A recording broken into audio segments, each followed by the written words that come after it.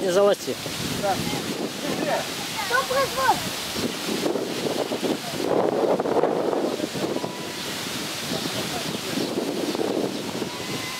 Сейчас она как завернет, и мы прокричим доброе утро, Юля.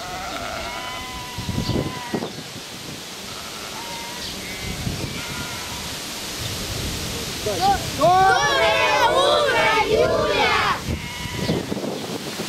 Все, да благословит ее Господь. Пускай все хорошо будет. На написано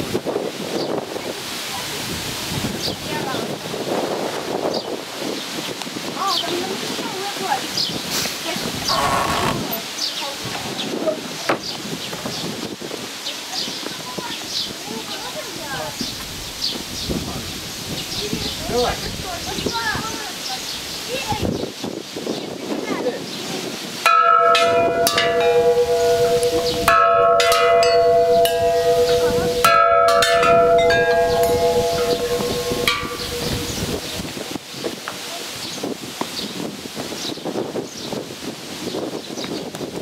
Ты колокол слышал, До того места, до где обратно, где слышал. Бегом только обратно, сюда, сюда. Вернись назад. Назад вернись, и шел шагом. Ты с этого места должен сорваться, как пуля лететь, где колокол был. Несись со всех ног и туда и обратно.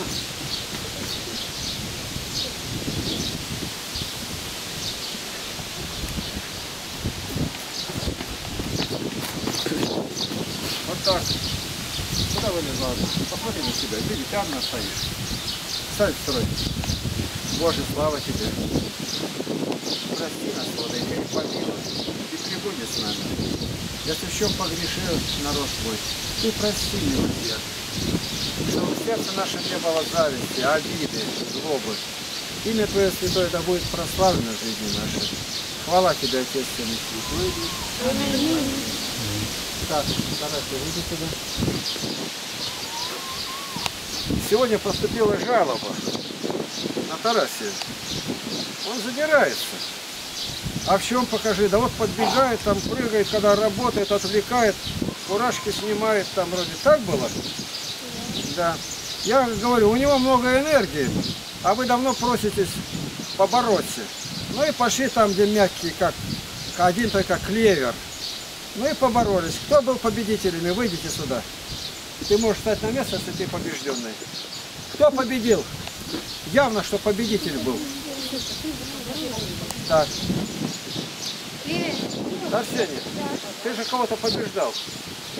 Я он проиграл, он проиграл мне. Я один раз. Один-то раз. Ну, в общем, так. Да не только Тимофей. Вот так. Посмотрите. Но только побе- победители не должны думать, что эти люди хуже вас. Это все дело случая. И эта победа, она никак не влияет на нравственное состояние. Ясно дело, что вот Левия говорит, я хочу побороться с Леонидой. Ну, тебе сколько лет? 13? 13? 12. А Леониде сколько? Вот родная твоя сестра. Она и по комплекту меньше. Тут что удивляться не приходится. А вот вы в равной весовой категории. Ну, эмоции маленько сбросили. Если вам нужно кричать сильно, мы сегодня уйдем в другое место, и там будете кричать. Я буду учить вас по разным голосам. Как волки воют, как осел кричит. Вот будете. А волк как? «О-о-о». Я уже знаю, кто не. Кирилл, ты один из самых не воздерживающих. Мужчина должен быть молчаливым, знающим, сильным, выдержанным, смотрящим вперед. Если этих качеств у тебя нет, то женщина будет руководить в доме. Женщина руководит в доме, это означает пирамида переопрокинутая. А по-другому нельзя. Мужчина потерял власть учить, Златоуст говорит. Жена занимает законную кафедру. И тогда пирамида становится на место, но только уже венец достается женской половине. Вы это все учитываете. Мы здесь все абсолютно это проходим на основании Слова Божия. Платочки. К побежденным относиться снисходительно. И милость к падшим призывал, как Пушкин говорил. Вот Все. Так, э, минутку, минутку, подождите. У нас вчера случай был, ЧП. Станьте все на место. Так, выйди сюда. Вот этот отрок уклоняется от общих, когда что-то делается, он отдельно копается. Может склад у него такой, я не знаю. Общения с взрослыми у него нету. Он не приучен где. Я примерно знаю семейное положение. Но вчера я его все-таки сказал, иди пасти вместе с ними. И там где-то переходили они. Кто рядом был с ним, когда он потерял ботинок? Иди сюда.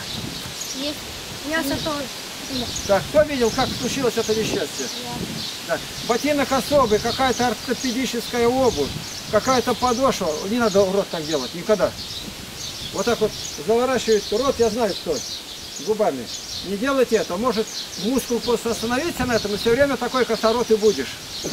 Ты будешь плакать всю жизнь тогда. Что случилось? Я ему сказал, иди, какая-то обувь, у него плоскостопие. Сколько подошва-то стоит? Э, Это стельки. Мы один раз покупали за 5 тысяч, и три раза э, Стелька покупали 5 за тысяч. 5 тысяч. Может это неправда 5 тысяч стоит? Почему это правда?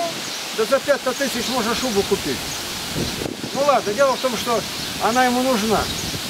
И оттуда вдруг приходит с одним ботинком. Топчется в носках, штанишки у него длинные, значит, за ними особо постирать, если длинные обрезать или завернуть, подшить. Вам понятно? Старше. Это обязанность на всех ложится, кто старше. Что случилось? Мы, мы, я с Нестором э, хотели срезать путь, и чтобы побыстрее добраться до ребят, мы переходили через лог. Мы ему сказали наступать на, тра, на тра- это, когда переходишь на лог, наступать на почву. Мы с Нестором легко перебрались, а он стал плакать, искать другой проход. Он говорит, другого прохода нет, это самый короткий проход. Почему бросили-то дальше по частям? Ну, Когда- я, я когда- потом вернулся, а он Потом вернулся.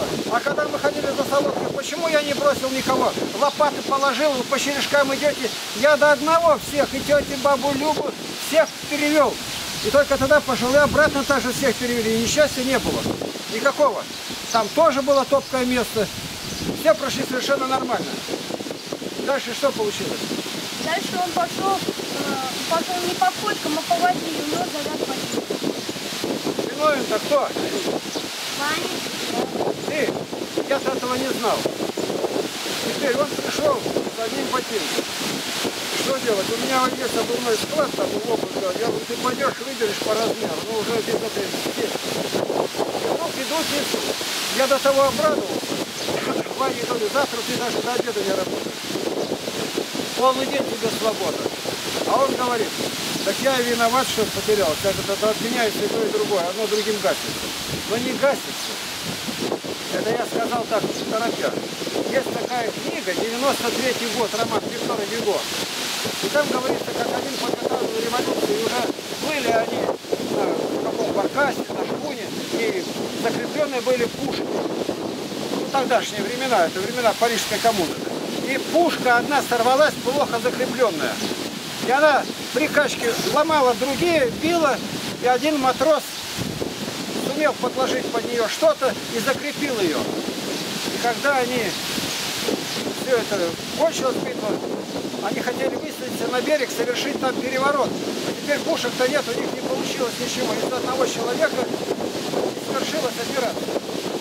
Он его наградил, матроса, который закрепил. А другие говорят, так он ее и не закрепил. Она и разломала пушки. Да он ему дал награду за то, что он тапочек там. Когда он вытащил пистолет, а за то, что ты не закрепил, приговор тебя расстрелял его. С орденом подвели его. Это, когда его отдельно повез этого командира, один матрос, один везет, и он доверенный матрос. И матрос говорит, я родной брат того, кого ты убил. Понимаете, это такая трагедия. Ну, надо понимать, кто пишет, Виктор Гюго. Советую прочитать, 93-й год так называется. Я вчера припомнил внезапно это. Ты виноват, и ты же, ты же нашел. Но то, что ты нашел, меня это такая радость была, я все забыл. Что ты там, виноват, виноват. Никогда вставать не надо, никогда бросать не надо. Он маленький, его надо было до конца перетащить, на себя посадить, на закорми, тащить. Все было бы на месте. Некоторые пошли, вернулись, босиком были. Мы все лето босиком пасли. Вот мы видим, надвигает, мы уже близко пошли. Бывает с градом. А нам в мокрой одежде ходить не, хотелось. Мы раздевались наголо, одежду сворачивали, под себя ложили, а град и дождь по голой заднице долбит нас. А когда дождь пройдет, мы сухое оденемся. А как по-другому степи? Мы спасали своей шкурой. Понятно?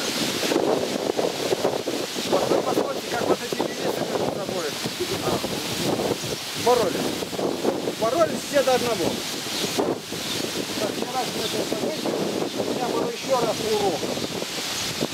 Ни на шаг от взрослых не отставать. Ты пострадал из-за того, что неправильно вел себя. Пошел другой дорогой. Какая другая тебе дорога, когда перешли? Ты бы стоял на месте, перетащите меня, братья. Надо уметь просить. Ты понял ошибку свою?